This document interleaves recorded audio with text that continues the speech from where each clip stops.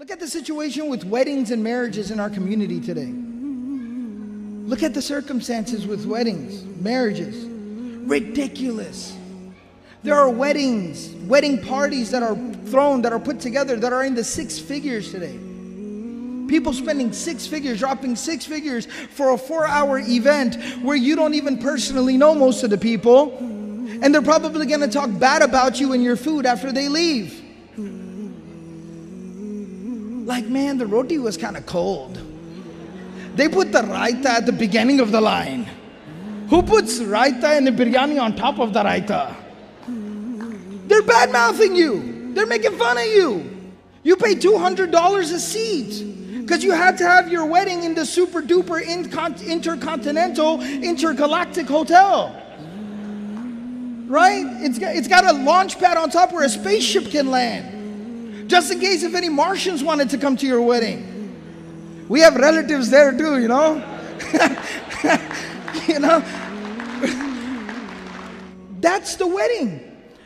I, am not lying to you.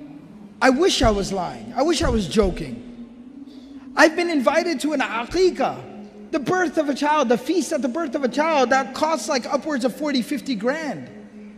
What are we doing? Are people starving and dying in this world? We're starting off a life, we're starting off a relationship in debt.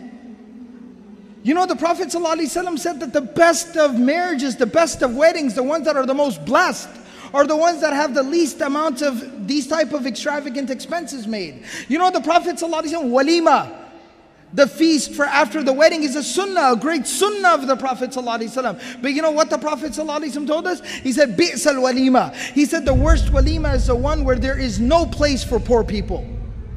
Subhanallah. Think about our occasions now. We want to invite the cream of the crop. We want celebrities there.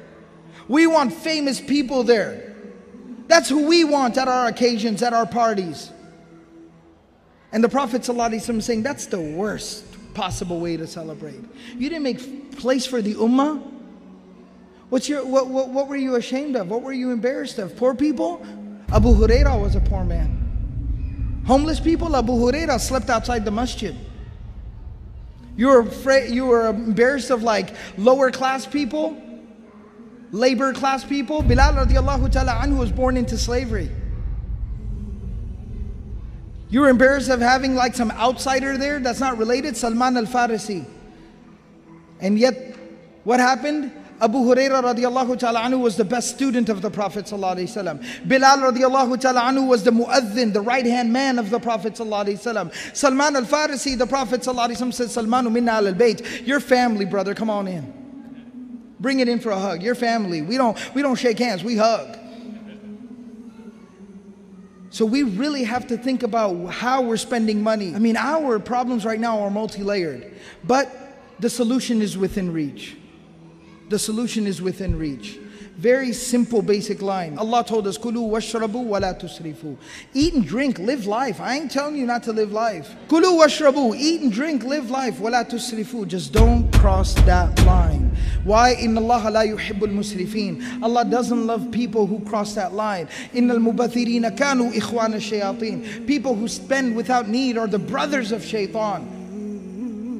And finally, Allah subhanahu wa ta'ala told us if you keep playing this game of trying to one up one another, This has ruined you, this has made you useless. Take a look at where you're going and see what you've prepared for where you're going. And it'll be a real wake up call.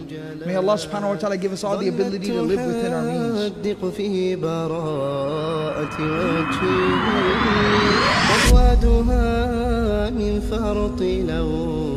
ليلتها اتقى واسترجع ذكراه منذ أتت به.